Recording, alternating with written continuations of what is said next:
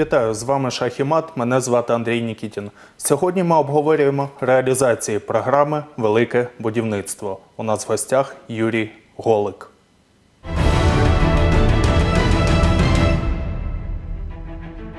Юрій Голик, консультант програми Велике будівництво, закінчив Східноукраїнський національний університет імені Володимира Даля, спеціальність фінанси та кредит. Працював топ-менеджером у галузі медіабізнесу у 2015-2019 роках. Радник голови Дніпропетровської облдержадміністрації. Зараз у його компетенції питання розвитку інфраструктури України, хобі, гра у футбол,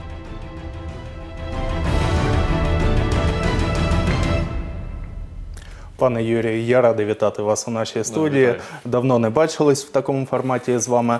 Е, Власне, перше питання стосується південного обходу. Яка взагалі історія е, цього інфраструктурного проекту? История правильная, она начиналась 12 или 15 лет назад, э, еще до 2012 года, и была логика такая, что перераспределить поток больших грузов, идущих с Криворожской трассы, чтобы они сразу выезжали на трассу Днепр-Павлоград, Минуя, собственно, сам Днепр.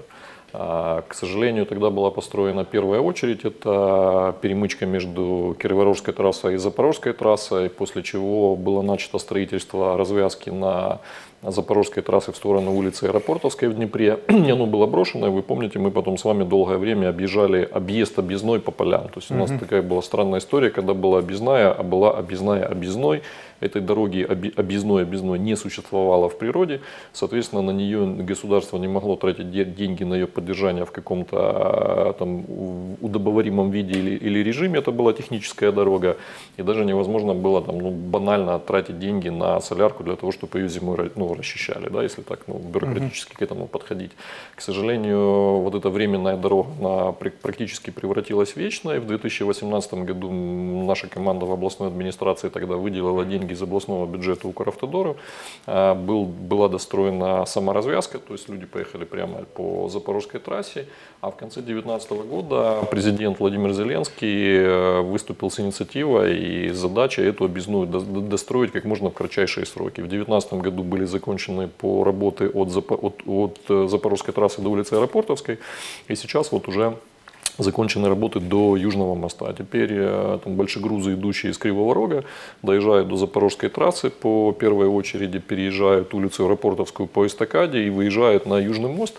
Что дает это Днепру? Ну, во-первых, это чуть другая экология в Днепре, да, во-вторых, мы с вами знаем, что там раз в месяц, к сожалению, на улице Космической в Днепре, на Космичке так называемой, происходят аварии с, с- э, с участием фур. Теперь этих аварий, мы уверены, там не будем, потому что фурам нет смысла заезжать в Днепр, им быстрее объехать по этой объездной. Кроме того, это ж не одна объездная а, в Днепре, это так называемый южный обход Днепра, есть еще северный обход Днепра. Северный обход Днепра это так называемые съезды с Кадатского моста.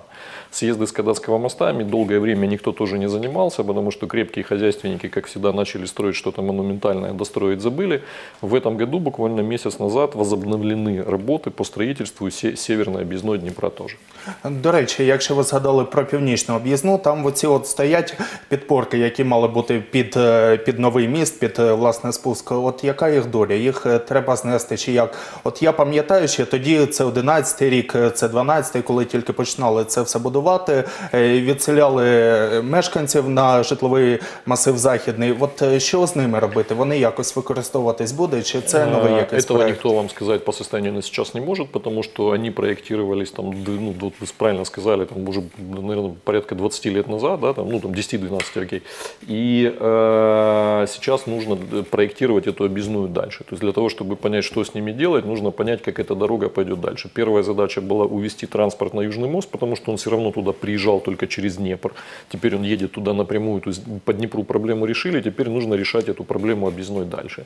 Я думаю, что в ближайшее время будет объявлен э, тендер на разработку тех- технико-экономического обоснования, в рамках которого уже будет посчитано, как правильно эту дорогу продолжать, потому что если, там, строго говоря, существует несколько вариантов, и нужно дать научный ответ на то, каким вариантом нужно идти. Ви згадали 2018 рік, коли е, команда, яка тоді працювала в Дніпропетровській обласній державній адміністрації, е, команда Різниченка був такий навіть хештег.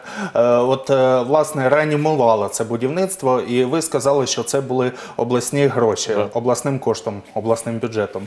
Власне, от добудова коштувала, якщо я не помиляюсь, трохи більше одного із 7 мільярдів гривень. Да. Е, Тієї, тієї дороги, яку ми сьогодні бачимо, тієї магістралі, власне, це які кошти? Это це государственный бюджет, это державные кошты, это дорога, находящаяся на балансе Укравтодора. Заказчиком выступал Укравтодор. Областная администрация в 2018 году финансировала строительство самого моста над, м, ну, по Запорожской трассе для, и для развязки и съездов с него. Е, Так, ну власне, от е, сьогодні був запуск, е, вже перші машини поїхали. Я це бачив на власні очі. Так, це було досить цікаво. А, Але власне головне питання, напевне, це строк експлуатації е, цієї траси. От скільки вона прослужить? е, Це 5 років, 10 років, 20 років. Напевне ж, це закладається, коли Да, таке ну там будівництво минимальный відбувається. срок гарантийный там порядка 10 лет, потому что это новое строительство, или 10, или 15. И на самом деле прослужит она, я думаю, гораздо больше, потому что на Подъездах к этой трассе установлены Wait and Motion, ВИМы, это автомати- комплексы автоматического взвешивания в движении. Это как э, фотофиксация превышения скорости, точно так же есть фотофиксация превышения допустимой нагрузки на оси по большегрузам. Соответственно, проблема с большегрузом там будет э, решена, а самая большая проблема дорог с точки зрения их эксплуатации, это когда по ней с перегрузом ездят фуры. Все. Е, Так, ну ви сказали, що це державний кошт. Ну, власне, це одна з частин, таких, мабуть, невеличких частин е, е, загальної програми Велике будівництво, яка почала реалізовуватись ну, в повну силу, напевно, у 2020 році. Е, Так, е, власне, от за ці фактично два роки, кінець року вже слід підбивати якісь підсумки на Дніпропетровщині, у нашому регіоні. Які проекти вже реалізуються, які на фінальній стадії? Ну, смотрите, на Днепропетровщине, к сожалению, выпал 2020 год, потому что в 2020 году главой области был господин Бондаренко, который, в принципе, по своим компетенциям и уровню интеллекта не соответствует занимаемой должности, поэтому он э, не сделал ничего, не открыл ни одного объекта и не смог даже закончить то, что должно было быть закончено э, там по графику. Поэтому, когда Валентин Резниченко вернулся опять в кресло главы ОГА, первая задача была закончить незаконченное Бондаренко. Это было сделано и начать начатое. Во-первых, были закончены порядка 16 приемных отделений. Были закончены все сельские амбулатории. Было закончено порядка 15 школ там, и 10 стадионов. Второе, начаты новые объекты. Допустим, только в Кривом Роге в этом а, году осенью стартовала реконструкция 6 школ и 6 садиков. Этого не было никогда. Они там максимально там, текущим ремонтом как-то там а, ремонтировались. И огромное количество дорог, ну вот смотрите, за два года а, сделана трасса Днепр-Никополь, сделана трасса Днепр-Кривой Рог, Кривой Рог-Николаев, Кривой Рог-Крапивницкий. Сейчас делается трасса Кривой Рог-Запорожье в Запорожской области, участок 12 километров уже сделан, или 16, я не помню точно. Сделана за год трасса Днепр-Павлоград и Павлоград-Покровская, порядка 250 километров дорог категории Т. Это те дороги, которые связывают между собой районные центры. Мы, как жители Днепра, с вами там по ним не особо ездим, а на самом деле для области это важные а, транспортные артерии. В следующем году заканчивается, заканчивается строительство трассы Н-31 Днепр-Иштиловка. В следующем году будет сделана трасса Павлоград-Марефа-Лозовая. В следующем году будет сделана полностью трасса Днепр, Днепр, Днепр-Ларионова, Синельникова, Васильковка, Покровская. Это там такие вот бли- бли- ближайшие планы. Кроме того, ждет реконструкции трассы М08 Днепр-Каменское Кременчук и трасса М18 Днепр-Харьков. Ну, то, что называется там Харьков, э, Запорожье, Алушта, Симферополь. Мгм. А от, до речі, з Грешетилівською трасою, наскільки я знаю, от буквально е, цими днями вона вийшла вже в Полтавську область. От які там роботи Не, в проводяться? Полтавской области мы ее в этом году почти всю закончим. Останутся там уже какие-то мелкие э, нюансы. То есть там весной она поедет вся по Полтавской области. Днепропетровскую область мы рассчитываем закончить там, к концу лета следующего года. А основная проблема со строительством этой трассы очень простая. В Украине отсутствует закон, который бы рег- регулировал вылучения земель частных для строительства инфраструктурных объектов. Грубо говоря, есть проект, есть трассировка этой трассы, есть посчитанная на нее нагрузка, а, есть понимание, как она проходит, она проходит по чьей-то земле, там, какого-то фермера или там, там, какого-то частного лица. Вы приходите к частному лицу, говорите, здравствуйте, мы государство, здесь будет новая трасса, мы бы хотели у вас ее купить.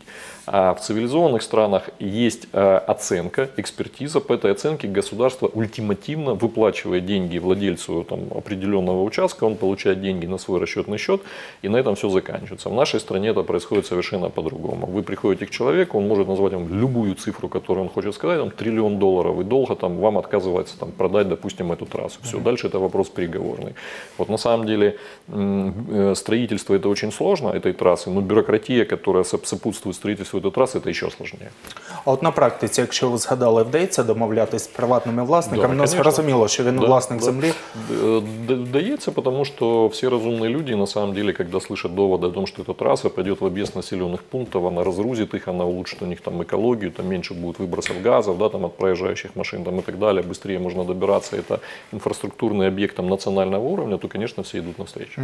Е, Це питання лише грошей. Я маю на увазі, що якщо ви м, е, є, та- е, є такий механізм, скажімо, запропонувати от приватному власнику іншу земельну ділянку, чи він покаже, я хочу, скажімо, там е, я живу умовно кажучи, в Новомосковському районі, я хочу десь під Києвом. Такий варіант можливий? Нет, таких, таких вариантов нет. Кроме того, а, выкуп осуществляет служба автомобильных дорог конкретной области. У службы автомобильных дорог, как у государственного органа, нет вообще никаких земель. Поэтому она ничего не может предложить. Она может предложить только выкупить, либо с помощью там, органа местного самоуправления, там ОТГ, найти там якесь порозуміння а, внутри этой ОТГ.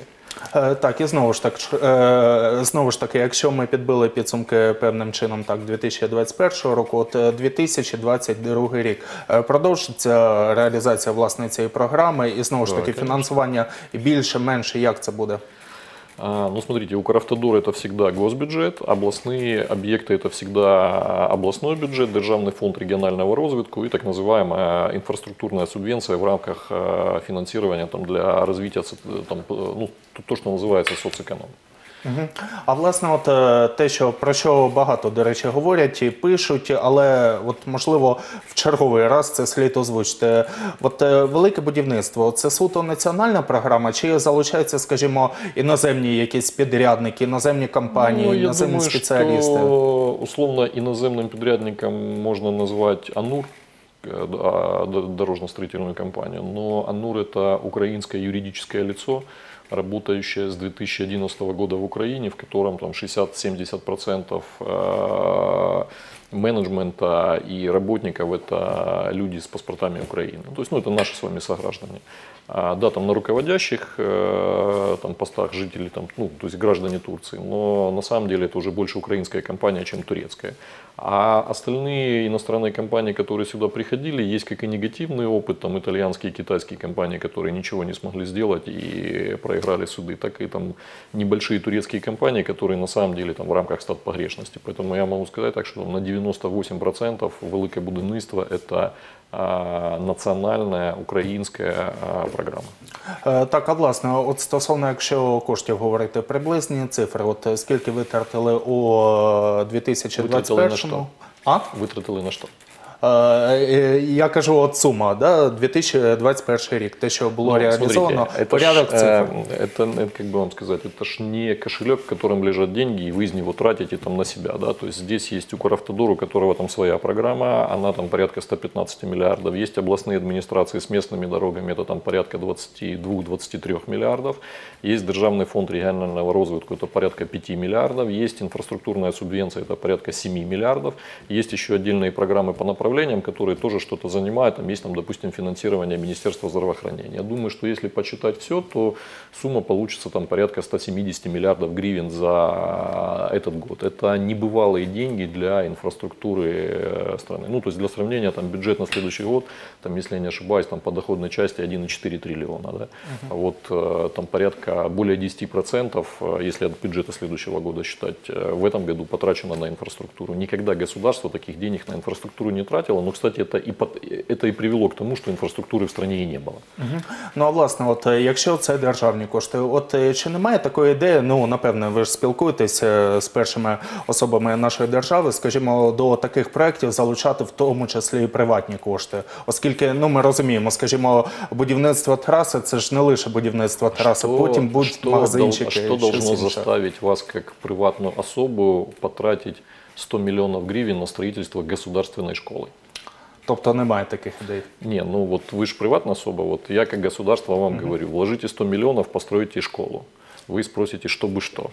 Ну, то есть частные школы, они так строятся, частные садики, они так строятся. Частные дороги, первая дорога начнет строиться в этом году от границы с Польшей до Ровно, там порядка 200 чем-то километров. Это будет строиться, строить украинская компания там, или консорциум украинских компаний. Да, там надо э, понять по условиям конкурса, кто вообще сможет ее такую дорогу построить. Приватні власники. Да, и дорога будет, ну то есть э, компания, которая построит, либо консорциум будет зарабатывать на взимании платы за проезд. Но мы как государство по международным нормам должны гарантировать, э, что если там компания получает меньше там какой-то оговоренной суммы, мы как государство должны компенсировать. Кроме того, если вы посмотрите на любую страну, то частных дорог менее 1%. Ну то есть 1% это в Италии, а вообще там 0,2-0,3%, то есть их не так много. Кроме того, у государства есть свои функции, ну во-первых, это там обороноспособность, например, да, во-вторых, та- там, ну, э, там судовая система, да, а в-третьих, э, ну, то есть социальная инфраструктура это функция государства. Вы не можете ее перекладывать на приватные особы, ну, потому что тогда приватные особы будут выполнять функции государства. Наверное, это возможно в краткосрочном периоде, как у нас было в 2014 году, в 2015-2016, когда шла война с Российской Федерацией, активная ее фаза. Было целое волонтерское движение, которое сейчас продолжается, которое помогало армии. Но его все меньше и меньше, потому что все больше и больше э, финансирование государственное там, делается правильно и доходит там, до конкретного военного. Наверное, приватный бизнес, правильные приватные особы м, привлекали, когда началась э, первая волна коронавируса, тогда был э, там, э, благотворительный фонд одесский, да, по-моему, который там, получил деньги там, от крупных финансово-промышленных групп Украины и тратил их там, на закупку необходимого медицинского там, оборудования и экипировки для врачей. Но инфраструктуру за частные деньги мне сложно сказать, как это строить. Е, Юрій Юрійович, питання аеропорту, аеропорту Дніпра. От е, якщо ми прослідкуємо 2021 рік, була досить складна ситуація. Спочатку було оголошено тендер, був переможець, е, потім був новий тендер. е, і Фактично, вже в кінці року восени був цей тендер. От е, яка ситуація станом на Смотрите, зараз? сперва был оглашен тендер старой командой в Министерстве инфраструктуры. А, Тендер выиграла компания Altis. Она демпинганула в результате аукциона по цене на 30%, от чего все неумные люди хлопали в ладоши. А, К сожалению или к счастью, строительство это сугубо материальная физическая вещь и имеет свою цену. Эта цена определяется экспертизой. И если государство что-то строит, то оно в первую очередь должно обращать внимание не на цену, а на соотношение цены и качества. Как за минимально возможные деньги получить максимальное качество. Когда какая-то компания на строительстве аэропорта падает на 30% и потом подает документы договорной цены с ценами, которых не существует на рынке и в природе, всегда возникает вопрос, как она будет строить. Собственно, компания Altis это и показала, она строила никак. Там ездило три несчастных грузовика и туда-сюда возила землю. Поэтому, когда пришла новая команда Министерства инфраструктуры, такой тендер отменили из-за срыва графиков, который является неотъемлемой частью договора. А был проведен новый, выиграла, кстати, компания НУР, сейчас работает в самом разгаре. И более того, инвестор а, господин Ярославский, его компания DCH, которая строит терминал, резко увеличила скорость строительства самого терминала, а, потому что увидела, что государство со своей стороны начало действительно строить взлетно-посадочную полосу. По самому оптимистичному плану, который хотелось бы верить, что воплотится в жизнь, все строительные работы там должны быть закончены до конца следующего года. Это если повезет с погодой, если не будет там никаких сопутствующих факторов, и если э, там про- изначально был правильно сделан проект, который не придется в процессе в него там вносить какие-то корректировки. Е, Так, ну власне, якщо я не помиляюся, цифра, яка закладена була у бюджеті, е, власне, були правки внесені, відповідні е, бюджет прийнято у нас е, 8 грудня. Е, Це цифра була 2 мільярди 189 мільйонів, якщо я не помиляюсь, саме на злітно-посадкову смугу. Е, Це грошей буде достатньо, щоб її добудувати. Нет, потому что тендер был выигран с суммой порядка 4 или 5 миллиардов, если я не ошибаюсь. Е, Знову ж таки, якщо тоді говорити по старуках, да, от ми тоді можемо говорити про 2023 рік. Нет, почему? Но смотрите, вы исходите из того, что вы хотите в бюджете увидеть все финансирование. А на самом деле, если вы а, ну, то есть, смотрите, бюджет это P&L, Profit and Loss, ваши доходы и расходы. Да, вы просто говорите, я на бюджет там, на аэропорт Днепра заложил 2 миллиарда. Но если вы будете считать то, что называется cash flow, либо там бюджет БДДС, бюджет движения денежных средств, вы разобьете по месяцам, когда какие вам деньги нужны. Вот если я вас сейчас спрошу, или вы меня спросите, нужны ли 2 миллиарда 1 января, нет, не нужны. То есть компания не будет выполнять работу с такой скоростью, чтобы 2 миллиарда освоить там 2 января. Соответственно, есть какая-то скорость выборки этих денег. Соответственно, этих денег достаточно для того, чтобы компания, которая выиграла тендер, строила там в 5 или в 6 смен, делала это круглосуточно, бежала достаточно быстро. Любой бюджет имеет свойство а, быть перевыполненным при благоприятной экономической среде и конъюнктуре. Соответственно, дальше э, этот аэропорт может быть дофинансирован. На моей памяти я не помню случаев там, за последние несколько лет, когда какой-то объект был зафинансирован бы полностью 1 января. То есть всегда а, при грамотном планировании выделяются достаточные деньги для того, чтобы объект строился, для того, чтобы потом его дофинансировать. Это нормальный, грамотный менеджерский подход. Угу. Так, інший аеропорт це аеропорт Кривого Рогу. От Да. Буквально днями ви в соцмережах е, оголосили про те, що почалися роботи з реконструкції. Якщо я не помиляюсь, е, відповідний пост ви зробили 9 грудня у Фейсбуці. Власне, що там, що в Кривому Розі? но смотрите, Кривой Рог, как и Днепр, долгое время был э, изолированным городом. В Кривой Рог не было дороги с Николаева, с Крапивницкого, Запорожья, из Днепра и не было аэропорта. То есть Кривой Рог это такой был как остров обитаемый, ну как и Днепр там в какой-то, в какой-то части. Да? С транспортным сообщением, с дорожным сейчас, слава богу, ситуация в Кривом Роге налажена за прошлый год. Есть дорога из Днепра, есть дорога на Николаев, Одессу, есть дорога на Крапивницкий, делается дорога на Запорожье. Но я думаю, что многие э, жители а, Кривого Рога просто забыли о том, что у них есть аэропорт. Есть три этапа его реконструкции. Первый – подготовительные работы, которые там уже начаты. Это, по большому счету, замена всех коммуникаций. Это какие-то черновые работы, которые необходимо сделать. Есть второй аэропорт – это реконструкция взлетно-посадочной полосы непосредственно. Я думаю, что где-то в середине марта она начнется физически. И есть третий этап – это реконструкция терминала. Потому что терминал э, существующий, он э, ну, там, каким-то образом божеский вид приведен, но его возможностей и э, того, что в нем находится, недостаточно для выполнения регулярных международных рейсов. А мы хотим, чтобы из Кривого Рога летали регулярные рейсы и на Киев, и там в другие областные центры нашей страны. И второе, мы хотим, чтобы были регу- регулярные международные рейсы. Е, Так, Юрій Юрійовичу, про велике будівництво ми поговорили. Не так багато часу у нас лишається, але тим не менше я хочу поговорити про іншу таку програму. Це велика реставрація, нова програма. От е, взагалі, яка її філософія, про що це? Философия в том, что государство долгое время не уделяло культуре вообще никакого внимания, не финансировало Министерство культуры, да, как профильное министерство, и огромное количество так называемых культурных объектов, а, там, церквей, замков, храмов, а, театров, филармоний, цирков а, находилось там в занедбанном стане. А в рамках этой программы, допустим, в Днепре будет реконструирована филармония, театр и что-то еще, я не помню, а в Кривом Роге там цирк и музучилище, допустим. Это то, что нужно делать там очень давно и то, что должно быть там, э, то, что давно должно было быть сделано. Е, Так, ну власне, от якщо говорити про об'єкти культурної спадщини, е, саме ця програма стосується в першу чергу них і реконструкції. От якщо говорити про Дніпропетровщину, ви вже почали говорити. Наскільки я знаю, от скажімо, про наше місто можна говорити про філармонію. От там е, тендер був, е, він е, не знаю, чи відбувся, чи от мав Нет, нет, нет, відбутися. тендер еще не відбувся, потому что реставрация это более сложная история, чем строительство и реконструкция. Это м, совершенно другой уровень проектирования. Эти объекты все имеют там какое-то историческое значение. Это такая кропотливая работа, поэтому реставрация чуть-чуть растянута во времени там, с точки зрения сроков.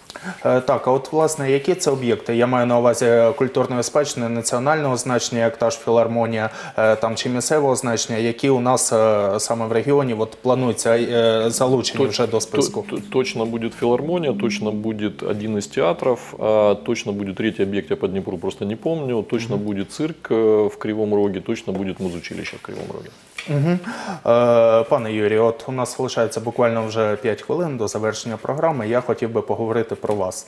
Е, от, власне, якщо згадати 15-19 роки, коли ви безпосередньо працювали у Дніпропетровській області, е, ви так були поряд з владою. В принципі, зараз ви також є консультантом програм Велике будівництво і десь поряд з владою, а не всередині влади. Тим не менше, ви спілкуєтесь е, з відповідними чиновниками, е, з державними діячами. От е, до цього ви ви досить довгий час працювали у бізнесі, зокрема у видавничій сфері. Ви займалися е, газетами, ви займалися медіа. От де вам комфортніше взагалі, як е, державному менеджеру чи як приватному менеджеру? Любому нормальному человеку всегда будет комфортнее в бизнесе, потому что все, что связано с государством, дико забюрократизировано, это первое. Второе, любая государственная работа – это паллиатив. То есть любое принятое вами решение, оно наступает на чьи-то интересы.